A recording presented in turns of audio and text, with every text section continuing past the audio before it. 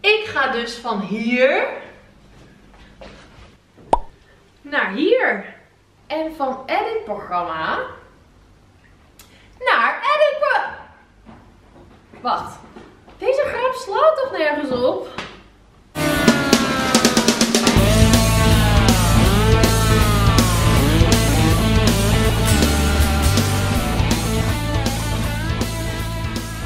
Hallo lieve mensen. Ik heb twee, twee grote nieuwtjes voor jullie. Nou, voor mij eigenlijk. Maar ja, het heeft impact op jullie. Dus vandaar dat ik het toch eventjes gewoon in een uh, grote video aankondig. Boter! De eerste heb ik net een klein beetje al verraden in het intro.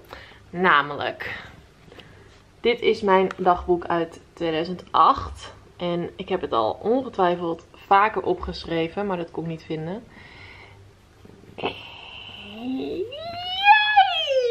Ja, ik ga een boek schrijven. Um, dat ben ik al aan het doen. En um, is veel werk. En ja, het is gewoon, dat is echt dus mm, een bucketlist ding. Een droom die uitkomt. Um, nooit gedacht dat ik dit boek zou gaan schrijven. Ik ga ook niet vertellen waar het over gaat nog. Want het moet een beetje spannend blijven. Hè? Een beetje opbouwen ook. Uh, anders heb ik straks niks meer om over te praten. Maar um, laat ik zeggen dat ik geïnspireerd ben door mijn haters. Nou, is dat nou niet mooi? Dat er dan toch nog iets tofs komt uit alle stomme comments die ik uh, op dagelijkse basis krijg waar ik no worries niet mee zit. Um, want nu helemaal niet meer, want nu hebben ze me een vet tof idee gebracht. Dus ik uh, vind het helemaal leuk. Maakt natuurlijk niet dat jullie nu allemaal moeten gaan haten om mij, zeg maar, creativiteit te wensen. Um, want nog steeds is het niet super gezellig. Maar um, ja, maak je in ieder geval geen zorgen. Ik krijg soms hele lieve berichtjes van mensen die dan zo zeggen van... Oh, maar je bent hartstikke leuk. En it's okay. Oh, Verpie, je bent zo dik. Het echte concept van het boek ga ik sowieso binnenkort onthullen op mijn Instagram. Dus volg me daar als je een beetje op de hoogte wil blijven. Gaan we door naar de tweede onthulling. En dat is iets wat echt mijn hele leven een beetje anders gaat maken. Het heeft wederom te maken met dromen uit laten komen. Want um, vroeger wilde ik eigenlijk heel graag wel uh, acteur worden. En um, ik wilde uh, ja, daar ook wel een opleiding voor doen. Maar de enige weg daar naartoe was altijd theaterschool, musical, shizzle. En ik hou daar gewoon niet van. Ik ben niet die persoon. Ik ben niet die theatra... Ja, dat zou je nu trouwens niet denken, want ik zit heel met mijn arm te vieren. Ik ben niet die theatrale... Uh, en ik hou ook niet van dansen, want dat kan ik niet, want ik heb geen ritmegevoel. Ik kan ook niet zingen. Um, dus dat, dat, daar voelde ik nooit zoveel voor. Maar toen sprak ik Moise Trussell op een persreis uh, voor Ben Jerry's. En um, die vertelde dus over de opleiding die zij heeft gedaan, FAAM. En dat is een filmacteuropleiding. Nou, ik helemaal enthousiast. En ik dacht, weet je wat, ik gooi mezelf gewoon in het diepe. Je bent nooit te oud om, om iets te doen of je carrière om te gooien. Of, niet dat ik dat doe, maar um, om, om, om nieuwe dingen te leren sowieso. Hè? Dat is het hele idee van dit kanaal. Dus ik dacht, fuck it, ik ga gewoon auditie doen. En die auditie die is niet mis. Um, dus het zijn drie rondes. Een, uh, een soort van groepsauditie.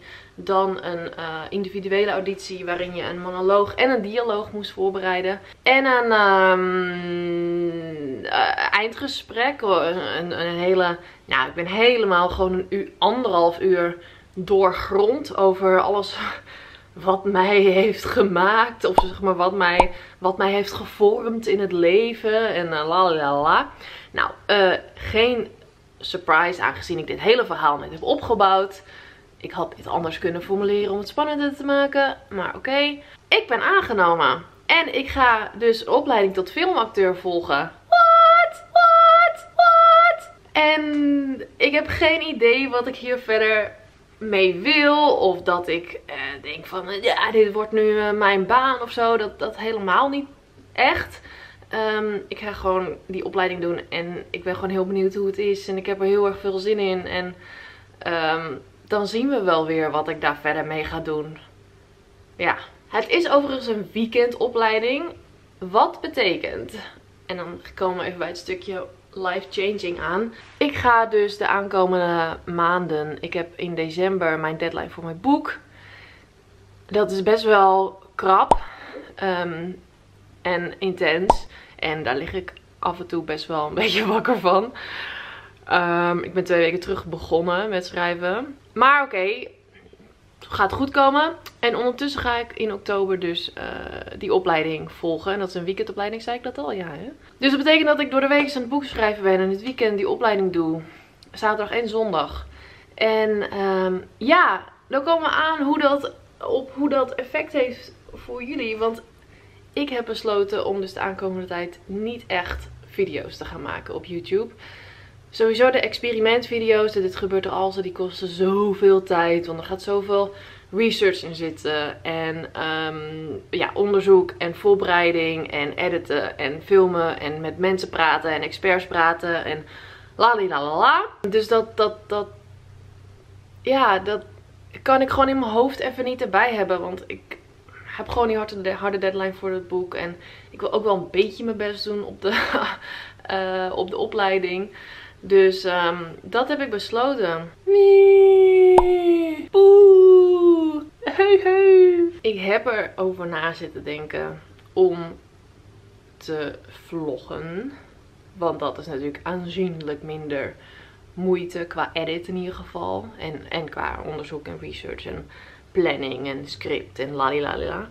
Ik zeg echt vet veel lalila. Waar komt dat vandaan? Dat woord gebruik ik nooit. Is het een woord? Maar ik weet niet. Ik heb, ik heb uh, vloggen sowieso nooit echt heel leuk gevonden of zo. Ik heb het in New York gedaan toen ik in New York woonde. Omdat ik dan tenminste iets had om over te vertellen. Want dan kon je je New Yorkse leven laten zien. En dat is anders dan in Nederland. En ja, nu heb ik natuurlijk ook wel een ander leven dan normaal. Uh, dus ja, misschien is het...